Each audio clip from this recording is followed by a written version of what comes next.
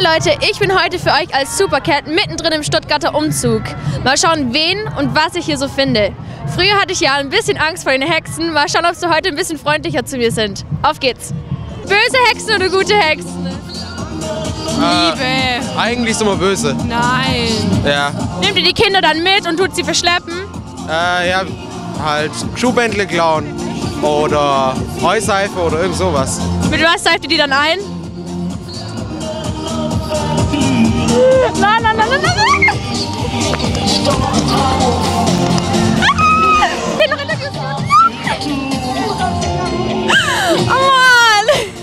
Okay, also es ist ja Fasching. Warum hast du dich als Penis verkleidet?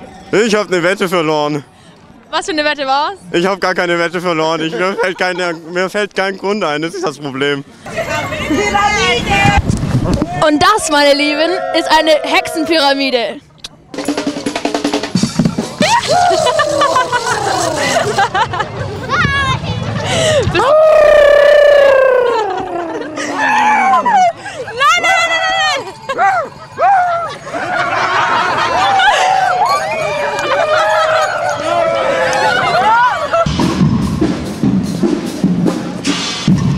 Zu machen. Ja, wir nehmen die Zuschauer mit, wir malen sie ganz böse an, wir you touch my tralala, ja, nee, je nachdem, ja.